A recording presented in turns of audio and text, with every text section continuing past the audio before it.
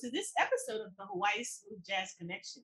I am your host, Gwendolyn Harris. My guest today is a saxophonist, vocalist, songwriter, and producer who hails from New York. She has toured around the world and has shared the stage with many contemporary jazz notables such as the Rippingtons, Nick Colionne, Chuck Loeb, Chuck Cindy Bradley, Hiroshima, Bob James, David Sanborn, Gerald Albright, and the list go on. She has enjoyed 10 Billboard top 30 charting singles. I am so honored and happy to have her here on the show today. Please let's welcome Miss Paula Atherton to the show. Aloha, Paula. How are you? Aloha, Gwen. Thanks so much for having me. Thank you so much. I know you are on Eastern time, so it's late where you are. So you are here joining me, and I am just so happy, happy, happy. For those of you who don't know, I just saw Paula a couple weeks ago at the Oxnard Jazz Festival in Oxnard, California, and she killed it. Absolutely killed it, killed it, killed it. So, you know, I saw her and I was like, you know what? I have got I always wanted to interview. Got to get her on my show. And look, she is here today. So again, thank you. Welcome. So, so let's get this interview started. How did you get into the music industry? How did you get to the music industry? Uh, well, let's see. I started, you know, singing really early and then playing flute when I was nine and studying jazz in my teens. And that's when I started playing saxophone. Um, as far as knowing what to do business wise, there's no map on that. Uh, it's kind of like trial and error, and you're going to make a lot of mistakes. And I did. wow. Now, do you, you come just, from a musical family? No, no. I just loved music. No? And, uh, I didn't even really get lessons when I was a kid because my parents couldn't afford it. So I didn't really start to have lessons myself until I could pay for them. Really? Uh, yeah. Yeah. But you know, when you want something bad enough, you work to get it. Yes. yes. And it was in my heart. So I had to go, I had to go get it. Wow. And I'm glad you did. I'm glad you did. Now we know you sing. We know you play the saxophone, and you just said that you play the flute. Yes. What other instruments do you play? Um, I play soprano sax, and I've recorded some tunes on soprano sax on my first couple of albums. I kind of stopped recording on it because I can't bring it with me on the plane, you know. Uh-huh. Uh-huh. I bring my alto, and my flute, and uh, my microphones and stuff, but I, I can't bring another instrument. So, but I think I might play it on my seventh. I have room for another uh, song or two, and I might I might bring that back. And I play baritone sax just for parts, you know, like I'll rent one. I don't own one. I'm not bringing it anywhere. Don't call me. I thing is like humongous, you know. I love it, but it's you know, it's outrageous. It's so huge. Um, and uh, piccolo. Uh, I'm a clarinet owner. You know the woodwinds, pretty much. You know all the woodwinds instruments. And and I play enough piano to be able to write. You know. Nice, nice. I'm a woodwind person myself. I played flute. I started out the clarinet and then played flute and piccolo in college. So I'm with you there, girl. I'm with all right, all right, all right. I'm with you. Now I asked this question um, of all my artists because I'm I love to hear their answers. The pandemic put everyone at a standstill, especially the entertainment field. What did you do during that time to keep sane? My career took off. Okay. It did. It did. It absolutely did. I had my first number one on Billboard in 2020 during COVID during COVID, that's when you that's that's when everything opened up for me. I, I'm telling you the truth. It sounds completely insane, but I'm not making it up. Uh, I my sixth album wasn't done yet, um, but the first single, "Can You Feel It," was, and we released it in January, And I think by May it had hit number one on Billboard Media Base and the Smooth Jazz Network. And uh, you know, because we were quarantined pretty much, Mhm. and you see I'm in the studio now, so we just went about finishing it and released the full album that September. And then in 2021, uh, I released um, Summer Song, another single from Can You Feel It, and that went to number one. So I'm not, I'm, I'm telling you the truth. I mean, it was crazy because I couldn't work, I couldn't go out and do anything about it. But as far as what, what was happening with my music on the radio was crazy. It was amazing. Well, I know I play some of your stuff on my radio show, and, and it's out of this world. Trust me. Oh, thank that. you. Thank you. Trust me on that one. So you didn't do. I know a lot of entertainers. They did a lot of um, online shows. Did you do any of those, like on online performances? Oh, I, I did some of them with tracks and stuff like that. Yeah. Uh-huh. Uh-huh. I did a few of those. You know, Okay, musicians were doing okay. whatever they could do, you know, whatever they could Right. do. Right. But I know you guys are glad everything is open back up and you guys are out there doing your thing. Absolutely. I mean, that was it was scary. I'm in New York and it was terrible here. Uh Yes. it was like Yes. I think the worst, It the worst state in the in the United States. We were losing like 8,000 people a day. It was really like crazy. And you you look at that on TV and you're like, I don't know, am I ever going to work again? Am I ever going to be able to go anywhere or do anything, you know? So thank God that things Exactly. It, took a while, but at least they turned around, you know? yes. Yes. Now we're going to talk about your albums. And I'm just going to go through the list because you have six out right now. As you said, you have a seventh that's up and coming, but it's not out yet. You're still That's working on that one, right? That's That's So right. 2001, you did Let Me Inside Your Love. Right? 2009, you had Groove With Me. 2012, you had Enjoy the Ride. 2015, you had Ear Candy. I love the names of these. I love these titles. 2018, you had Shake It. And then, of course, your latest album out now um, came out in, in 2020 is Can You Feel It? Yeah. I want you to tell us a little bit as to how you came up with that title for Can You Feel It? It just seemed like the right thing to do since that was my first number one on Billboard and it was the title. We just made it the title track of the album. I mean, previously I didn't do that. I, I had a concept for the album and it and it wasn't one of the songs except for Shake It. Shake It was one of the tunes on the record too. But before that, you know, it wasn't.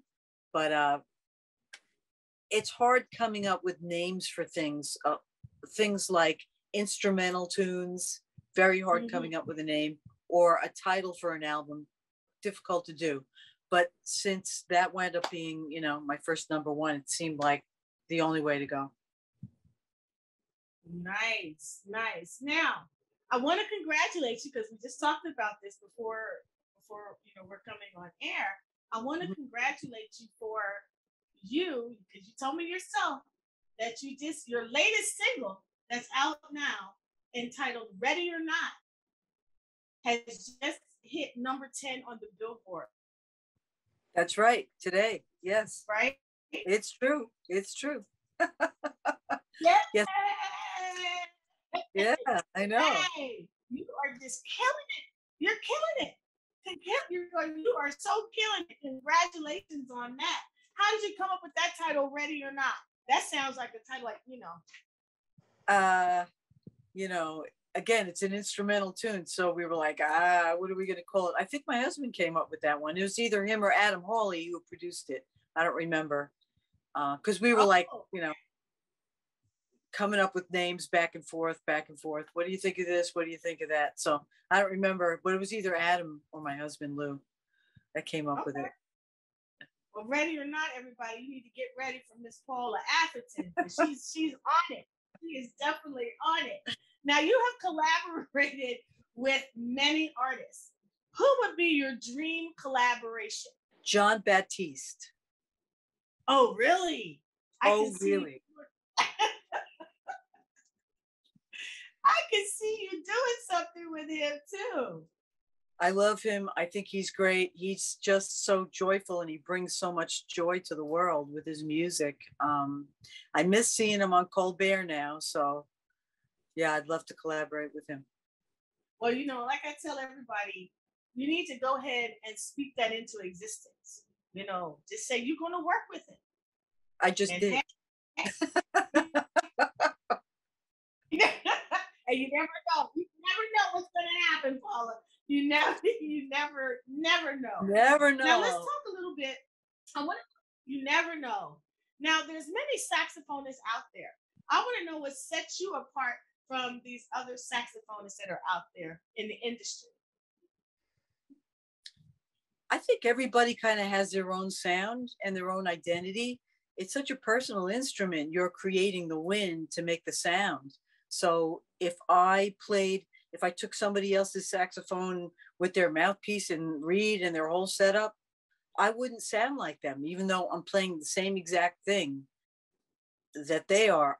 I would sound like me because it really has a lot to do with the person that's playing it and how they hear sound.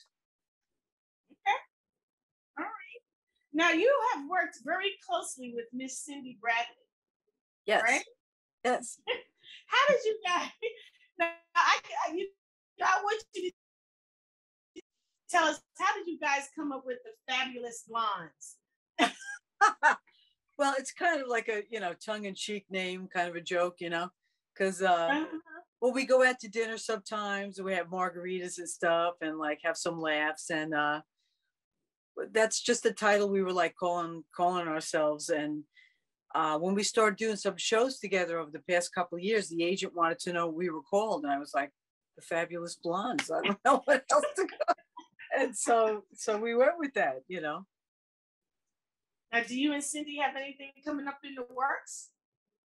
No, we we did uh, a couple of shows this year. The last one was at Glenora Winery, uh, and that was really fun. I'm hoping next year that we do some more. We played uh, our first show was last year in Norfolk at the Waterfront Jazz Festival, and uh, it was raining and there was a lightning storm. So they told us that we had to go in an indoor venue, and we were like, "Where's that going to be?" We were opening for David Sanborn, so there was a lot of people there, right? So they drive us to the back of this building, and they open the door, and we walk in, and I walk in there, and I'm like, "Oh my God!" It was the Scope Arena in Virginia do you know what that looks like? Oh no, really? Yes, I know. It's like the size of Madison Square Garden in New York. Yeah, with a jumbotron and everything. That was our first yes. gig. That was our first gig that we did. oh wow! Where are we gonna go from here? You know? Yeah, it was crazy. Oh. I can really imagine crazy. your face. I can, I can imagine your face when you saw that. I was like, it I mean, the sound was great, everything, the lighting. Uh, it was wild. It was wild doing a gig like that in a place like that. It's great. Well, I want you to talk a little bit about you work with an organization that brings music to autistic children, cancer patients, and hospice patients. I want you to tell us a little bit about the work that you do with the organization Music That Heals. Uh, they're a really wonderful organization run by this uh, great woman, Kathy Lord. And um, I studied music therapy. So I'm always interested in the wonderful things that music can do to help people, different types of people in different situations. Um, so, yeah, I did a show for her recently, uh, Labor Day. We played at Calvary Hospital, which is basically a hospice hospital in New York. And um, it's it's such a gift being able to do that uh, to to give to people in that way you it's indescribable you, you get so much back you know? And that's not the reason why i do it. I i just i like giving of myself like that. But it's you know like they say to us when we're in that hospital they're like you know we're there's first of all they're so nice to us and thankful that we're there. And they're like you know this could be their last show these people that are here you know?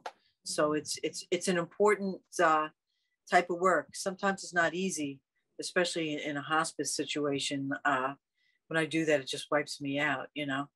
But um, you know, it's about uh, giving, being kind, caring for others. It's the best we can be. Yes. Yes, and that's just such a gift to music. Um, to, to take your music to share to share with those people, whether it's the kids uh, and the patients.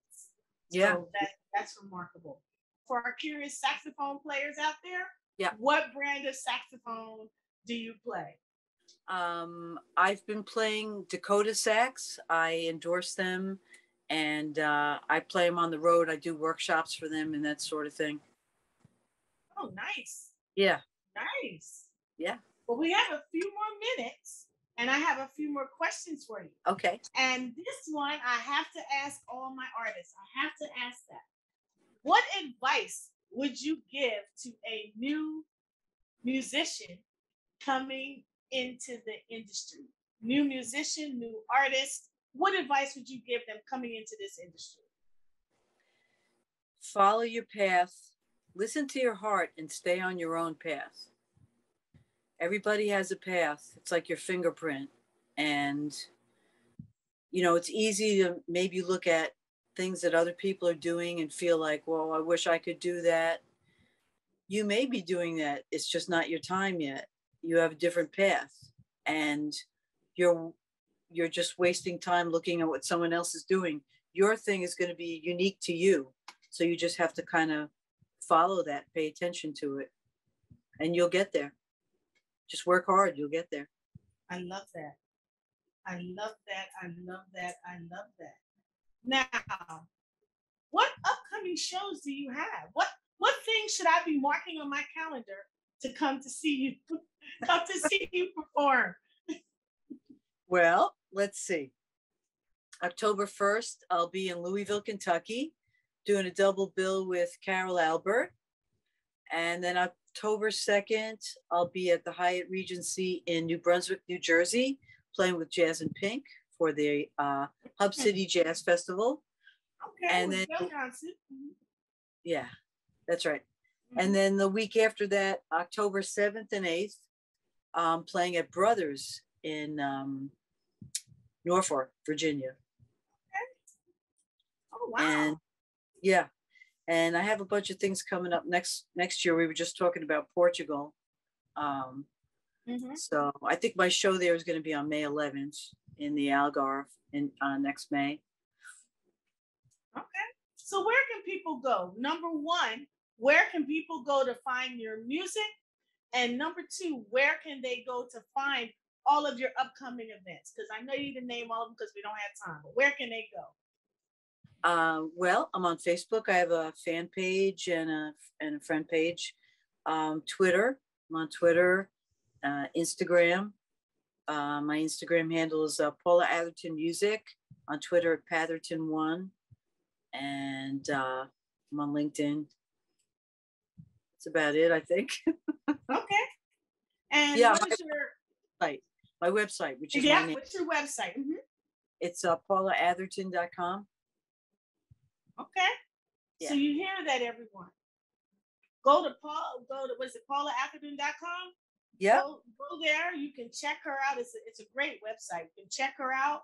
Um, you can check out where she's going to be playing because I'm going to be following her on some of these things, and I need to try and get her here to Hawaii. We talked about that. Most yes, yes. I'm also on uh, bands Bandsintown. If people want to join Bandsintown, they get uh, okay. no. Yeah. Okay. All right. You heard that, everyone, right? You heard that. Paula, I thank you so much for being here with me today. I'm going to have to do another interview with you, probably here in a couple months, find out what's going on, anything new, keeping track of you. You are yeah. killing it on the billboard with these songs, I tell you tell you, tell you, tell you. I will keep following you for sure. Well, thank you so much. I mean, I have a great team. I'm working with great producers, and uh, it makes all the difference in the world. Well, you stick with that team. You stick with that team, and I'm going to keep following you For sure. I'm totally going to stick with my team. They're the best. Thank you so much again for taking time out of your busy schedule. And it's in mm-hmm. late in the evening over there. But thank you so much for taking the time to sit here with me for this interview. I'm definitely going to be following you, and you might see me in Portugal next year. You never know. Oh, and I might be Until then, to my fans, to my viewers. oh yes, most definitely, most definitely, most definitely. To to my viewers, thank you so much for tuning in, and until next time, aloha God bless.